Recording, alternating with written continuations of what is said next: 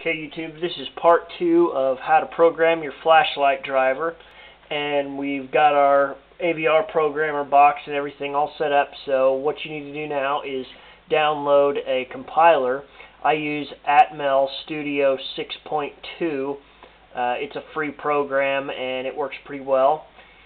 Uh, this is how it looks when it gets started. And what you'll want to do is go new project and GCC executable file. Down here you'll name your application.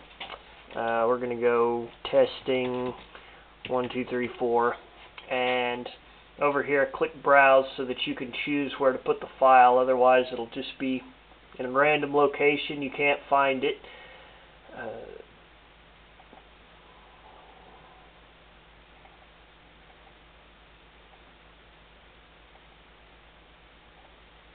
Okay, and down here, click OK. This program sometimes seems like it's not responding, but it's actually just sort of slow. The version 4 was nice because it was lightning fast, but it wasn't as good for compiling. I keep both on my computer just so if I'm in a hurry I can use 4 because 6.2 is it's, it's got to be like the slowest program I've ever seen. Okay, now we're there. So up here at the top, this drop-down menu, uh, click Tiny 8-bit, Tiny AVR 8-bit, and that'll reduce this menu. And you come down here to where it says Tiny 13A because that's the microchip that's on the flashlight drivers, the ones we're using.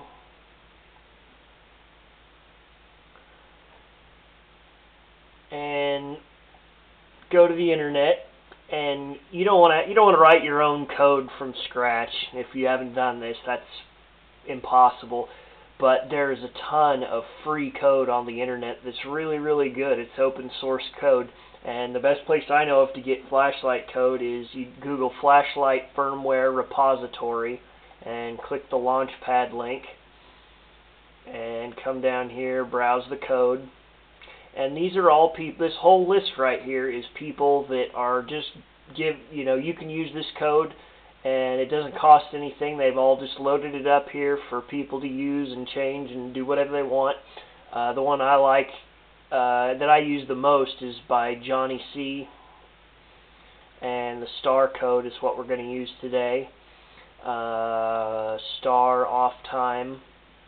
The off time one is for the MOSFET driver because it has the off time memory. It memorizes the mode when the light goes off. The uh, regular version for the 105C drivers is what you'll want to use because it has on time memory. And just open the C code. Now we're going to copy all of this code right here all the way to the bottom and go back to our compiler and this window has opened now and you can leave this code here or not. It just says this was created this day by whoever. I just get rid of it because it's we don't need it. And then paste all of the code that we just got. Now something else you'll want to do uh, you can see that I have uh, line numbers over here but by default this does not have that. You have to enable it so you go like this because you're going to want those numbers. Go Tools, Text Editor, All Languages, General, and then right here it's line numbers. Uh, I'll show you, see it removed it and we're going to add that back on there.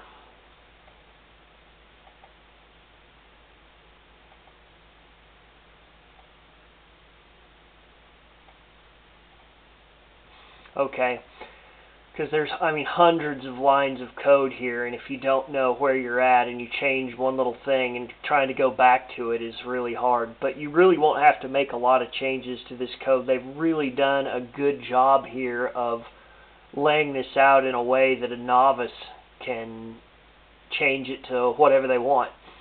and basically scroll down all of the past all of that first bit that's in green there and right here it says settings to modify per driver.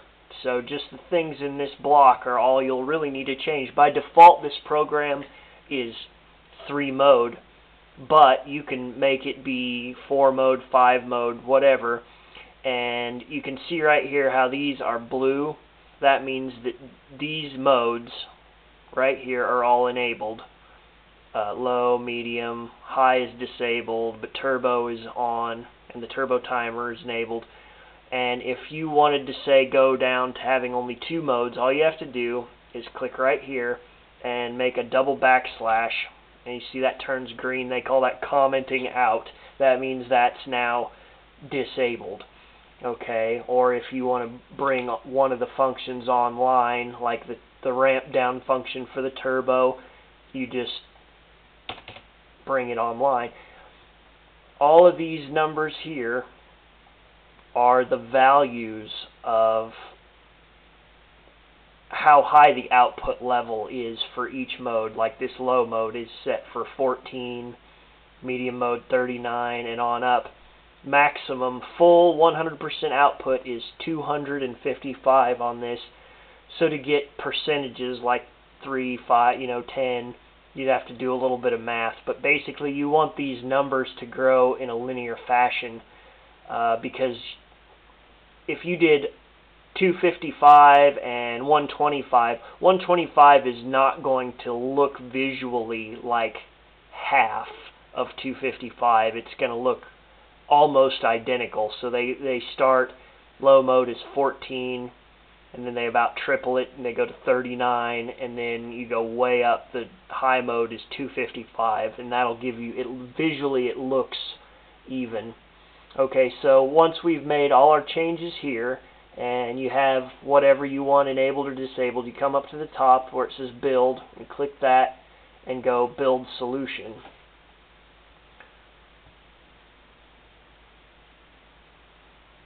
okay uh, zero errors, warnings, that's not a big deal. I've used this code enough time to know that's not a problem.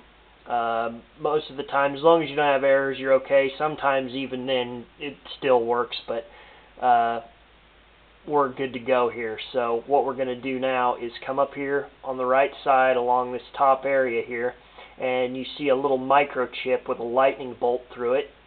And I've got my my AVR box plugged into the computer now and click that and that will cause this program to link up with the programmer box. Uh, ATtiny13A is the device. This AVR MKII, that's what we're going to use, so apply. And then come down here to memories. Now I have a bunch of code in here, so I could select whatever from right here. I could use any program in the computer, but we're just going to use this one we wrote a minute ago. And so now we're we're ready to program the driver. And what you what you do is, like I said, I've got my pin 1 marked here. And on this driver, pin 1 is this bottom corner. So I'll just clip this alligator clip right on the top of there.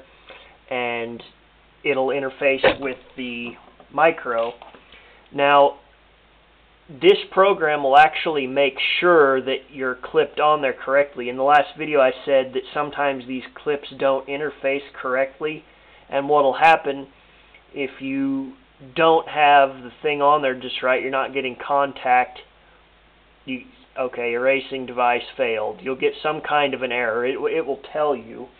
Now, uh, if in fact you get the clip on there correctly,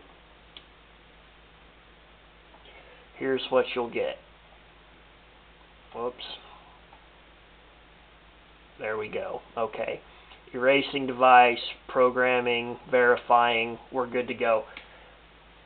As long as it says that, you, you typically you got the flash. I don't think I've ever had it say that it flashed and not got a program driver. I guess it's possible, but basically now you have whatever uh, firmware that you had there programmed onto this micro. You go hook it up, you're golden.